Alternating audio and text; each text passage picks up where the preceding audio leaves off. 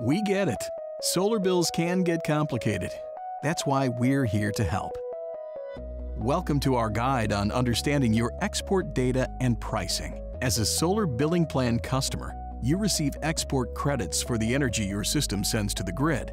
Export credits are split into two categories, delivery and generation. Delivery export credits are calculated by SDG&E.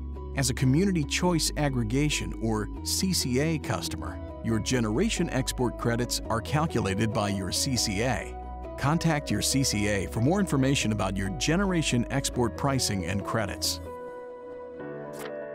When looking at your monthly solar bill, the Electricity Export section displays your total export kilowatt hours and delivery export credits for the bill period. To see additional information about your delivery export credits, you can download your export data and pricing spreadsheet in My Energy Center. The spreadsheet shows you how much and when your system sent energy to the grid, pricing during that period, and the compensation you received. The total export kilowatt hours and total delivery export credits are shown here. In this example, the customer's system sent 81 kilowatt hours to the grid and received 21 cents in the delivery export credits this bill period. These are the same amounts found on your solar bill. The columns below show you exactly how those totals were calculated. You'll notice there are hundreds of rows.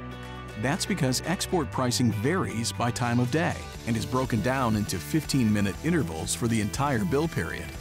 These prices are determined by the California Public Utilities Commission, or CPUC. There are five main columns in this spreadsheet. The date, listed as month, day, and year.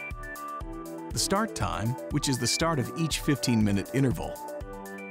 Export kilowatt hour, which is the amount of energy your system sent to the grid.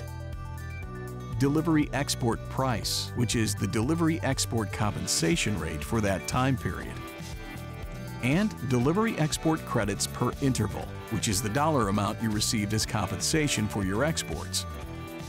In this example, the start of the customer's bill period was on December 13, 2023 at 12 a.m.